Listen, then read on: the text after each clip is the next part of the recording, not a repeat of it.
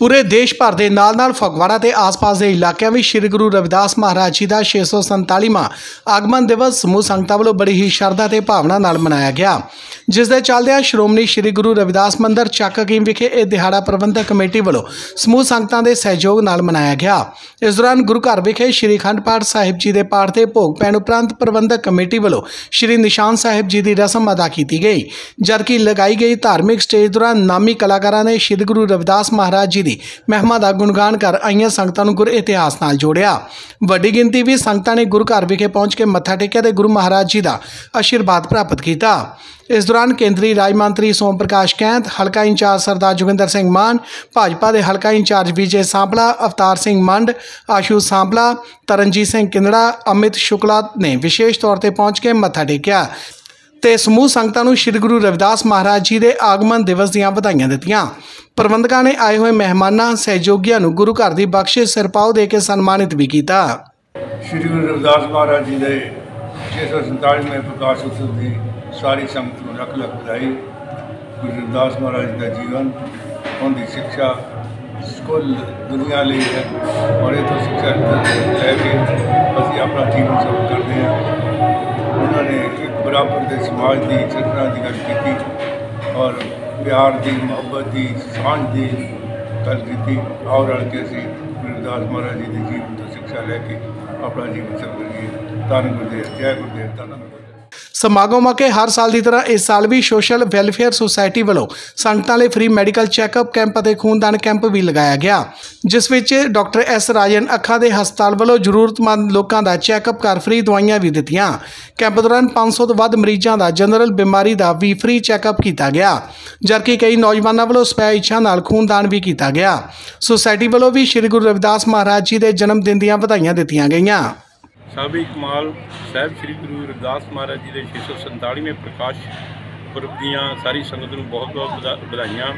ਹਰ ਸਾਲ ਦੀ ਤਰ੍ਹਾਂ ਸੋਸ਼ਲ ਬਿਜ਼ਨਸ ਫੋਰਮ ਵੱਲੋਂ ਡਾਕਟਰ ਜੱਖੂ ਜੀ, ਉਹਨਾਂ ਦੇ ਹਸਪਤਾਲ ਜਗ- ਜੱਖੂ ਹਸਪਤਾਲ ਸਤਰਾਮਪੁਰਾ ਫਗਵਾੜਾ ਦੇ ਸਹਿਯੋਗ ਨਾਲ ਮੈਡੀਕਲ ਕੈਂਪ ਸ਼੍ਰੋਮਣੀ ਸ੍ਰੀ ਗੁਰਦਾਸ ਰਵਿਦਾਸ ਮੰਦਿਰ ਚੱਕ ਕੀਮਰੇ ਲਗਾਇਆ ਜਾ ਰਿਹਾ ਹੈ।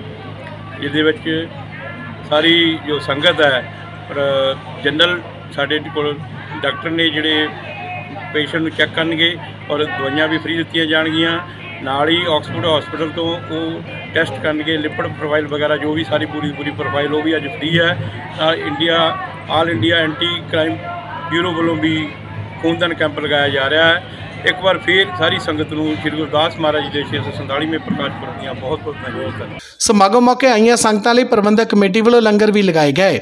ਇਸ ਮੌਕੇ ਗੱਲਬਾਤ ਕਰਦਿਆਂ ਪ੍ਰਬੰਧਕ ਕਮੇਟੀ ਦੇ ਪ੍ਰਧਾਨ ਦਵਿੰਦਰ ਕੁਲਥਮ ਅਤੇ ਸਮੂਹ ਕਮੇਟੀ ਮੈਂਬਰਾਂ ਨੇ ਜਿੱਥੇ ਸਮੂਹ ਸੰਗਤਾਂ ਨੂੰ ਜਗਤ ਗੁਰੂ ਸ੍ਰੀ ਗੁਰੂ ਰਵਿਦਾਸ ਮਹਾਰਾਜ ਜੀ ਦੇ ਪ੍ਰਕਾਸ਼ ਦਿਹਾੜੇ ਦੀਆਂ ਵਧਾਈਆਂ ਦਿੰਦਿਆਂ ਸ਼ੁੱਕਰਵਾਰ ਨੂੰ ਕੱਢੀ ਗਈ ਸ਼ੋਭਾ ਯਾਤਰਾ ਦੇ ਸਫਲਤਾਪੂਰਵਕ ਨੇਪੜੇ ਚੜਨ ਲੰਗਰ ਲਗਾਉਣ ਵਾਲੀਆਂ ਸੰਸਥਾਵਾਂ, ਸਿਵਲ ਤੇ ਪੁਲਿਸ ਪ੍ਰਸ਼ਾਸਨ, ਸਫ਼ਾਈ ਕਰਮਚਾਰੀਆਂ ਤੇ ਸਮੂਹ ਸੰਗਤਾਂ ਦਾ ਤਹਿ ਦਿਲੋਂ ਧੰਨਵਾਦ ਕੀਤਾ। ਇਸ ਮੌਕੇ ਤੇ advocate Sharda Ram Jashwarna ਸੀਟੂਬਾਈ Ruplal Maqbool, Ashok Bhatia, Balwinder Ram, doctor Desraj, master Paramjit, doctor Harjinder Singh Jakhu ਤੋਂ ਇਲਾਵਾ ਵੱਡੀ ਗਿਣਤੀ ਵਿੱਚ ਸੰਗਤਾਂ ਮੌਜੂਦ ਸਨ। ਸਤਿਗੁਰ ਰਵਿਦਾਸ ਮਹਾਰਾਜ ਦੇ ਅੱਜ ਦੇ ਗੁਰਪੁਰਬ ਦੇ ਦਿਹਾੜੇ ਤੇ ਸਮੂਹ ਸੰਗਤ ਨੂੰ ਬਹੁਤ ਬਹੁਤ ਵਧਾਈ। ਸਤਿਗੁਰ ਮਹਾਰਾਜ ਸਭ ਨੂੰ ਚੜ੍ਹਦੀਆਂ ਕਲਾ ਤੇ ਤੰਦਰੁਸਤੀਆਂ ਤਰੱਕੀਆਂ ਬਖਸ਼ਣ।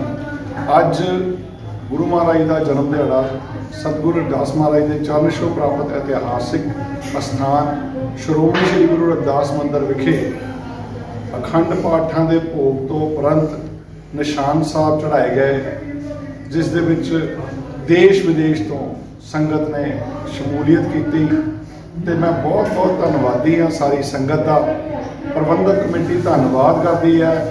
ਕੱਲ ਦੀ ਬਹੁਤ ਹੀ ਸੁਚੱਜੇ ਢੰਗ ਦੇ ਨਾਲ ਬੜੀ ਅੱਛੀ ਤਰ੍ਹਾਂ ਸ਼ੋਭਾ ਯਾਤਰਾ ਦਾ ਜੋ ਆਯੋਜਨ ਹੋਇਆ, ਉਸ ਦੇ ਵਿੱਚ ਪ੍ਰਬੰਧਕਾਂ ਦਾ, ਸੇਵਾਦਾਰਾਂ ਦਾ ਤੇ ਪਹੁੰਚੀ ਹੋਈ ਸੰਗਤ ਦਾ ਬਹੁਤ ਬਹੁਤ ਧੰਨਵਾਦ ਤੇ ਪੁਲਿਸ ਪ੍ਰਸ਼ਾਸਨ ਅਤੇ ਸਿਵਲ ਪ੍ਰਸ਼ਾਸਨ ਦੀਆਂ ਵੀ ਡਿਊਟੀਆਂ ਤੇ ਉਹਨਾਂ ਨੇ ਆਪਣੀਆਂ ਜ਼ਿੰਮੇਵਾਰੀਆਂ ਬੜੇ ਵਧੀਆ ਢੰਗ ਨਾਲ ਨਿਭਾਈਆਂ ਤੇ ਸ਼ਹਿਰ ਨੂੰ ਸਾਫ਼ ਸੁਥਰਾ ਕਰਨ ਵਾਲੀ ਸੇਵਾਦਾਰਾਂ ਦੀ ਟੀਮ, ਜਿਨ੍ਹਾਂ ਨੇ ਸਾਰੇ ਸ਼ਹਿਰ ਦੀ ਸਫ਼ਾਈ ਸ਼ੋਭਾ ਯਾਤਰਾ ਲੰਘਣ ਤੋਂ ਬਾਅਦ ਕੀਤੀ। ਉਹਨਾਂ ਦਾ ਵੀ ਬਹੁਤ ਬਹੁਤ ਧੰਨਵਾਦ। ਸਾਰੀਆਂ ਲੰਗਰ ਲਾਉਣ ਵਾਲੀਆਂ ਕਮੇਟੀਆਂ, ਬਾਜ਼ਾਰਾਂ 'ਚ ਸਜਾਏ ਹੋਏ, ਬਾਜ਼ਾਰਾਂ ਦੇ ਵਿੱਚ ਸਵਾਗਤੀ ਗੇਟ ਬਣਾਉਣ ਵਾਲਿਆਂ ਦਾ ਪ੍ਰਬੰਧਕ ਕਮੇਟੀ, ਤਹਿ ਦਿਲੋਂ ਧੰਨਵਾਦ।